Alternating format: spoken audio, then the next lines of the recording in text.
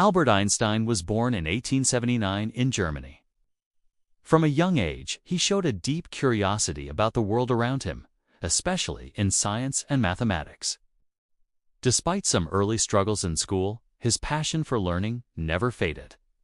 As he grew, Einstein developed new ways to think about space, time, and energy that challenged the traditional ideas of physics.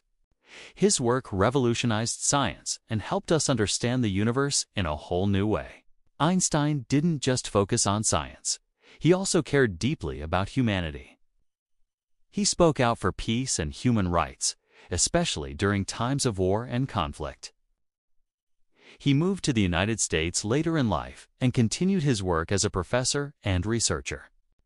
Albert Einstein's curiosity, imagination, and determination made him one of the most influential scientists in history, inspiring countless people to explore and question the world around them. As Einstein once said, imagination is more important than knowledge.